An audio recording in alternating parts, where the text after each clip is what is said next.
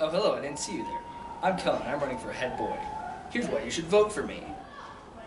I care. Hello, Noah, how are you?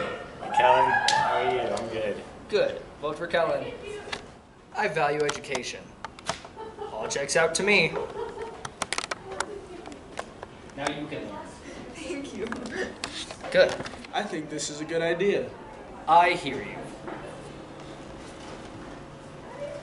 I'm technologically inclined.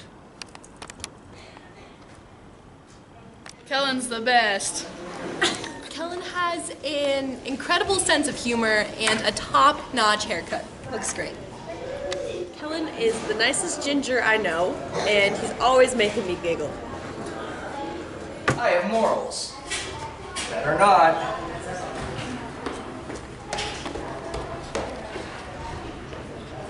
Staff appreciate me too. That's one hell of a boy.